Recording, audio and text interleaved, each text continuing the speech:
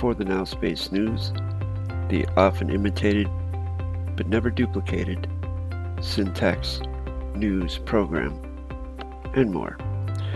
I'm your host, Colin Jason Ivy Matthew Colin Glass. You may call me Jason. And this week covers the Now Space seven day period ending on October 8th, 2022. We're going to have a choice selection of headlines, meme of the week, and we're going to have a special cognitive conjecture where someone actually attempts to read correct sentence structure, communication, parsing, syntax, grammar in an actual foreign vessel in dry dock. And we're going to see how that goes. So let's dig into the headlines. First headline reads Why does the Nobel Peace Prize often stir controversy? We have adverb why modifying does into a verb, adverb the modifying Nobel into an adjective, which is coloring peace into an adjective, which is coloring prize into a pronoun, followed by adverb often modifying stir into an adjective, ending on a pronoun because sentences or word groups may only end on verbs or pronouns. Cannot end on a modifier because there's nothing left to modify. I've also pointed out the particles of negation in this sentence, the vowel in front of a consonant in often, and the contra in control, as in contradiction, so on and so forth. It's a particle of negation. It's also in contract, by the way. That's why I hyphenate contract. C-O-N hyphen T-R-A-C-T. And it says, with the winner from 343 candidates set to be announced on Friday, a look at an award won by people as varied as Obama, Gorbachev, and Kissinger. And that, that's hilarious to me. I mean, not hilarious in like a haha, it's funny, let's have a good laugh, uh, haha but it's funny in strange funny because Obama, Gorbachev, and Kissinger have all taken part in, how shall we say, the machinations of the murder of many, many, many human beings. Whether by the orders they gave, decisions they made, but yet uh, they've won the Nobel Peace Prize, huh? Interesting. By the way, we don't syntax this part because it's in italics, and italics function the same as uh, brackets or parentheses or quotations, cursive. Falls under the four corner rule, rule of boxing. It's not on the page. Next headline comes from our, how shall we say it, our uh, alternative news site, SOTT.net, from their science and technology section. And it reads Russian scientists discover huge asteroid heading towards Earth. So we have a series of adjectives, tangible contract adjectives, because an adjective can be no other condition or state other than tangible, culminating in the tangible contract pronoun heading, uh, something you can put in your back pocket of syntax hints. Any word that ends in ing is probably going to be tangible contract. And then, as we know, nothing can follow a pronoun except for yada yada yada, and in this case, it's adverb towards which is now modifying earth into a dangling participle verb. Why is it a dangling participle verb? Because what is a verb, ladies and gentlemen? A verb is thinking. It's motion, it's action, but it's thinking. You have to think before you do anything. There has to be thinking involved. Well, as you see, this is the last word in the word group, so there's nothing left to think, uh, think about. So it's just dangling there and there's not even a full stop there. And this isn't even an original SOTT.net article. They've actually taken this from RT, and uh, they're saying they discovered a new asteroid. And that's one thing I remember about SOTT.net is they just go on and on. They have sort of a fetish or a fascination with asteroids and meteors and things like that. Things that they say are out there somewhere, but never quite make it here. I mean, we're told that they've made it here, but I've never seen one. Doesn't mean it hasn't happened. I'm just saying I've never seen one. I've seen falling stars and shooting stars, which I guess falling stars would be considered the ones that go like this, and shooting stars are the ones that go like that. Uh, but that's about the extent of it. Next headline comes from the same website. Uh, but again, it's it's it's uh, an article that SOTT took and sort of made it their own, but it was taken from another source, which was a site called Live Science. And it says government report claims cosmic and phantom UFOs are all over Ukraine's skies. Um, so we have adjective, adjective, pronoun. And what's interesting here is that we have those dollar store quotations, otherwise known as apostrophes being used as quotations, around cosmic and phantom. And what do we have? We have a space, apostrophe, cosmic, apostrophe, space, and space, apostrophe, phantom, apostrophe, space. So it's literally excessive spacing between claims and and, and and and UFOs. Because cosmic and phantom fall under the four corner rule, they're not to be considered. Therefore, and is standing by itself uh, flanked on either side, on port side and starboard side, by excessive spacing, by double spacing. So it is a standalone pronoun. And then we start up again with the UFOs, which is an adjective, and then we have are, which is adjective, all, which is pronoun, followed by over, which is adverb, Ukraine, which is adjective, and skies, which is pronoun. So what is a UFO? Does anybody know what a UFO is? Well, astronomers observe dozens of objects that cannot be scientifically identified, which just means they don't know what they are. So that's what they are. They don't know what they are. Unidentified flying objects. It's pretty simple. Next headline comes from NPR. Florida officials are scrambling to limit Hurricane Ian's impact on the election. Now, this was a big news event this past week hurricane hitting in Florida, causing a lot of uh, damage. But this headline is very interesting because the Florida officials are worried about the impact on the election. They're not so much worried about the loss of human life or the damage or people who who are have lost their homes, animals that have died and lost their homes and are suffering. No, no, they're worried about the election. There's quite a few particles of negation in this headline. Uh, we have adjective, adjective, adjective, pronoun, adverb, future tense, adjective, adjective, adjective, adjective, pronoun, adverb, dangling participle verb. Yeah, it's pretty, uh, well, it's all about the election because when we're talking about elections, we are most certainly talking about dollar signs. Next headline.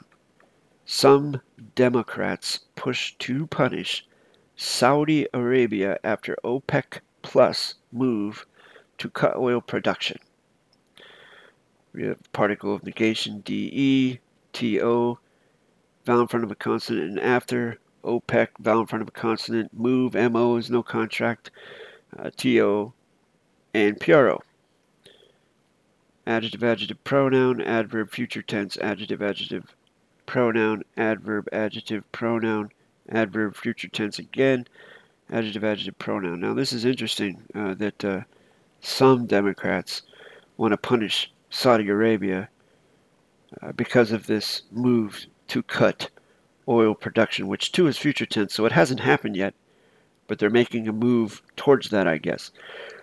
I guess the Democrats aren't worried about the uh, public executions and the uh, beheadings that Saudi Arabia does on a regular basis. They're more worried about uh, oil production because, again, ladies and gentlemen, it's about uh, it's about that. Yeah.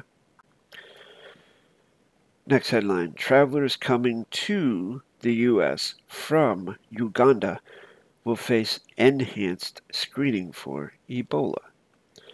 Adjective, adjective, pronoun, future tense, adverb, verb, adverb, adjective, adjective, future tense, adjective, adjective, past tense, pronoun, adverb, verb. So let's just look through this sentence and identify the tangible contract words. Travelers would be tangible because, you know, only adjectives may only be tangible contract. Coming. Uh, U.S. would be tangible. Uganda is tangible, and it's an adjective. Will is tangible. Face, enhanced, screening, and Ebola. Those are all tangible, and then the rest are non tangible, meaning we don't have a tangible contract and they're not based on facts.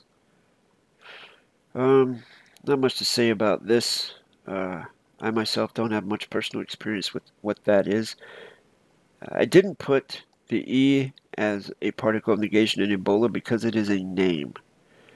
And names usually, you know, with the balance of honor and grace, get a pass because there are lots of people walking around with uh, vowels in front of consonants in their actual correct names. So we're not gonna we're not gonna give them a hard time for that. Now let's move on to our syntax lesson. This one comes from Newsweek, and it says, Joe Biden warns of Armageddon, dollar store quotations, says Putin not joking around about nuclear attack. Now let's look at some particles of negation here. We have that O. Uh, well, not is a negative condition to state right off the bat. ing, vowel in front of a consonant found from a consonant. And syntaxing, we have the rule of four corners here, where Armageddon falls under it. So this is basically one part Joe Biden warns of is one entire thing, which would be adjective, adjective, adjective, pronoun. And then we don't syntax that because it's not there. So we start again with says Putin not joking. And we have says adjective. Putin would be a pronoun. Not would be an adverb. Joking would be a verb. About would be adverb. Nuclear adjective.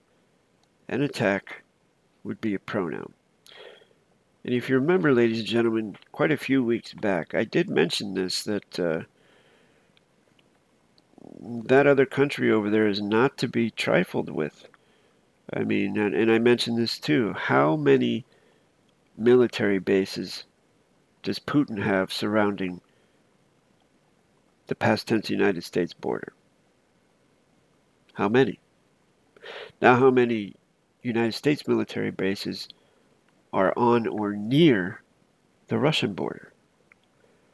Now you tell me who's threatening whom. I mean, from an objective standpoint, just logically. Next up, we have some sad news. Uh, this past week, a country music legend passed away in Loretta Lynn. And as we see here, she's pictured in 1976 with her beloved husband Doo, who preceded her in death. Uh, she was definitely on the cutting edge of country, had some very controversial songs out there. Uh, I highly recommend checking her out. One of the greatest female country voices, uh, traditionalist, and uh, just a, a, whole sad situation all around. Much respect to, to her and condolences to her family and loved ones and everyone that uh, are affected by this. Next up, we have Meme of the Week. And uh, I thought this one was pretty funny. I don't, people don't really think about this. But I would like you to think about it for a moment. People get upset about Game of Thrones and House of the Dragon. Come on. Bonus meme of the week. This one, this one is is uh, it would be funny if it weren't uh, so such a horrible, horrible thing that happens. Um, I don't know what they do now, but uh, they used to not use any type of anesthesia or anything like that. They would just do it. They would just mutilate. Well, you know, the screaming ensued. And so, unfortunately, the child is subjected to trauma right off the bat. And you're seeing the results of it right now. Now we move on to cognitive conjecture. And a little background on this. It's a, a broadcast on A&E called Court Cam. Bizarre defendant goes on hyphen-filled rant. Now this is pretty cool to me because this is, okay, this is in 2016 or 2017 that this happened. And I have to say, I have to reveal this. I'm not going to say any specific names or anything, but I know the people who were involved in this back then. I have spoken with them. Actually, I know them very well. And, uh, well, not, I don't know the individual who's speaking. I don't know him. But I do know the individual who wrote the words that he's speaking, who authored those words and who is also with him during the times of these uh, court cases that, that have been going on down there at that time. So I'm very familiar with it, and I'm going to play it and give you my thoughts. And pay attention to the way the uh, narrator is so so derisive. It's hilarious. For our next story, we head to Kauai County, Hawaii. The defendant is William Dennis, who's in court without a lawyer to face the charge of driving with a suspended license. Good morning. All eyes are on Dennis as he approaches.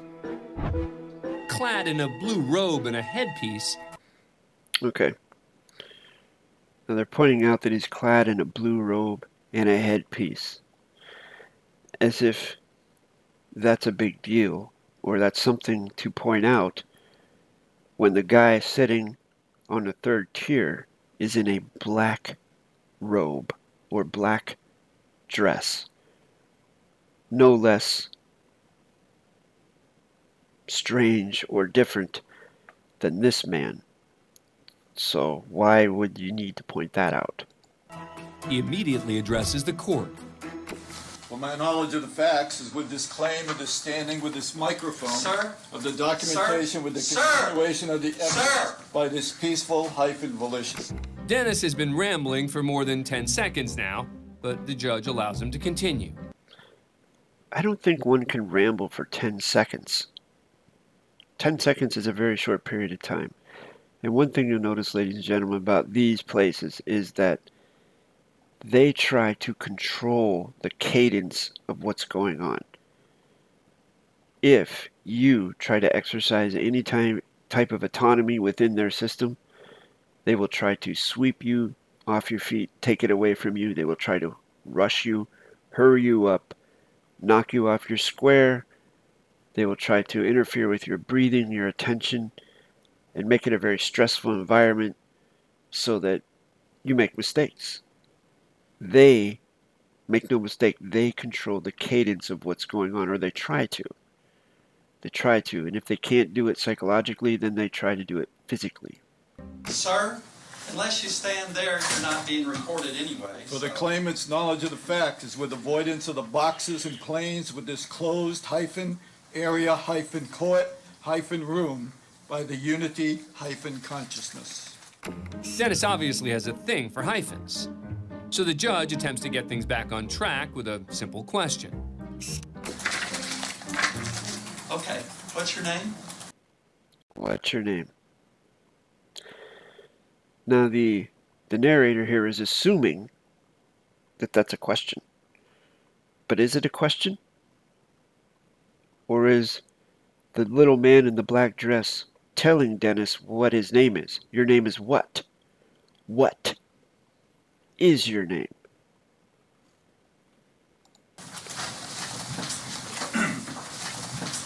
For my knowledge of my peaceful hyphen volition is with avoidance of the perjury, with this participation of correct hyphen, sentence hyphen, structure hyphen, communication hyphen, parse hyphen, syntax hyphen, grammar. If you're counting at home, that is seven hyphens in just that answer alone. Thankfully, the judge steps in. Okay, well, we have a lot of folks waiting here, and I would hope that you would be courteous to the other human beings that are So here's the point where they try and rush him through, try and give him a sense of urgency. When that guy right there with the little frilly black frocky, beautiful, I mean, maybe sexy dress there, is uh, taking his own sweet time, uh, saying whatever he's saying. are in the courtroom today waiting their turn to be heard. What do other human beings call you? For my knowledge of the facts, Perhaps hoping to avoid an extended answer, the prosecutor chimes in.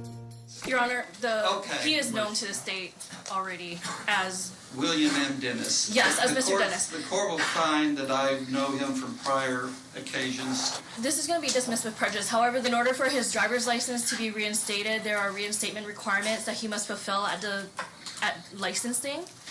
Okay, Mr. Dennis, first of all, I'll grant the motion. It will be dismissed with prejudice. Okay, thank you. Okay.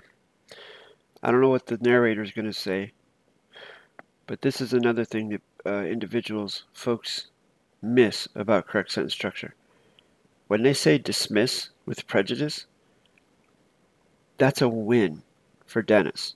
That's a win because he was brought in there on the charge of driving with a suspended license, meaning he was driving with no license with a suspended license. They suspended his license, meaning they suspended it.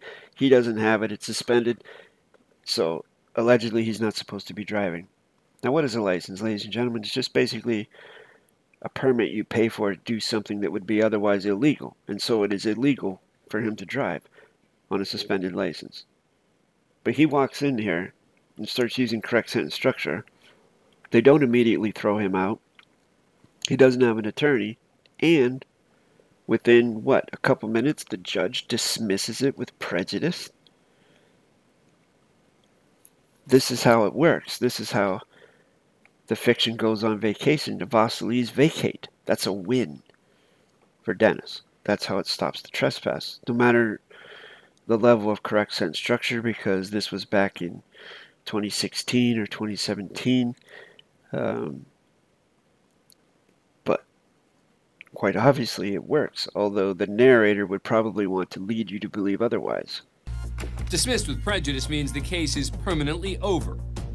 Done. Exactly. So Dennis can't be charged for that crime anymore because there is no crime. The judge dismissed it. He was originally brought in there to be held accountable for driving on a suspended license, to be fined or put in prison or whatever. But no, the judge threw it out. Finished. But Dennis would like to keep going. For my, for my knowledge of my peaceful hyphen volition is with this calling of the cooperation with the human hyphen beings of this court hyphen room, with the creation of a sanctuary, with the purpose of the knowledge hyphen, sharing, comma, mind hyphen, body hyphen, healing in organic hyphen, food hyphen, growing with the free cost of the people, with the public. Mr. Dennis, I believe Did you hear what he just said?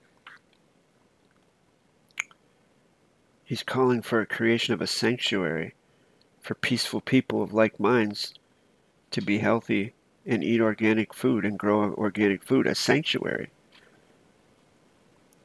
I mean, what's not to like about that? the state is being very patient and tolerant with you. You're free to go. Thank you, Mr. Dennis. It It seems everyone wants this case over. That is, except for the defendant. For my knowledge of my peaceful hyphen volition, because he knows that they're not going to do anything to him or if he if he he doesn't care. Now, the mechanics of using correct sentence structure in court, this isn't quite um, how I would suggest someone do it because Dennis is participating with the court. Dennis has not taken jurisdiction over the court. He has not taken, he has not, uh, how can I say this? He has not established the flag of the land during the time of the contract. He has not established that jurisdiction.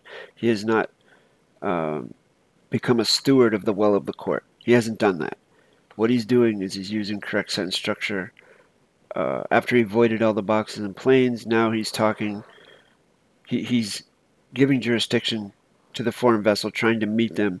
I guess it apparently seems on some sort of common ground, which is you can't really do that. But I mean, it's successful for him what he's doing, and he obviously knows they can't touch him now.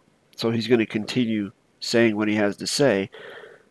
Although I'm sure it's not something that the state is going to acknowledge or have anything to do with. They just want to get that guy out of there and move on with their, their little fiction uh, soap operas. He's with this calling of the cooperation Sir? with the human Sir? hyphen beings of this court hyphen room, You're being with the disrespectful. creation of Dennis can't quite see the gift he's been given and throws out a few more hyphens. Mind hyphen body hyphen healing and organic hyphen food hyphen growing. Sir, with the free of the cost, with the pub- please have a seat at the front. of the cost, with the It takes some assistance from the bailiff for Dennis to get the message. But on his way back to the gallery, he gets a few more hyphens in just for good measure. mail hyphen livery by the correct hyphen sentence hyphen structure hyphen communication hyphen parse hyphen syntax hyphen grammar. What's your takeaway from that, ladies and gentlemen? How do you feel about that? I guess, you know, I'm kind of biased in that since I do know uh, some of the individuals that were involved in that case, and I know them very well, um, I am biased towards it, and I find it humorous. And I also find that it's, uh, it's a win. Now, if that individual had gone in there and claimed the will of the court, what would have happened? We don't know. Can't really say. But what I can say is that is what. That is one way that you could credential a win using correct sentence structure, communication, parse, syntax, grammar. In that, as soon as he began speaking it, the judge just dismissed it and wanted to get him out of there. The other individual, the prosecutor, whomever, was trying to, after the judge dismissed it, was trying to say things like, well, in order for him to have his license reinstated, we, he needs to do this, that, and the third. Uh, Dennis didn't care about that. Dennis was there not. It, it almost seems like Dennis didn't even really care about the, the charges. He wanted to get his message out about the sanctuary and his message of peace and kindness. That seemed to be his whole reason of being there. Maybe in not so much speaking to the state or the to the the little man in the black dress, the frilly dress, but uh, maybe he was speaking to the other people in there. Maybe that's the message he was trying to get across. Who knows? But he walked in there saying he was innocent, and the judge dismissed it within 60 seconds. That's the power of correct sentence structure and correct volition. Thank you for watching.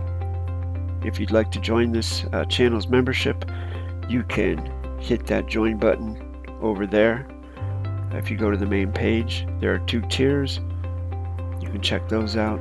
If you're interested in learning correct sentence structure, communication, parsing, syntax, grammar, you can contact me at the email address that's been screened at the bottom of your picture for the whole video, jasonmatthewg17 at gmail.com, and uh, I'll set up a 10 to 15 minute video consultation, and we can talk about it. Or you can check out the 400 plus videos on this YouTube channel uh, that I have invested thousands of hours in creating. My gift to you, my fellow mankind. Thanks for joining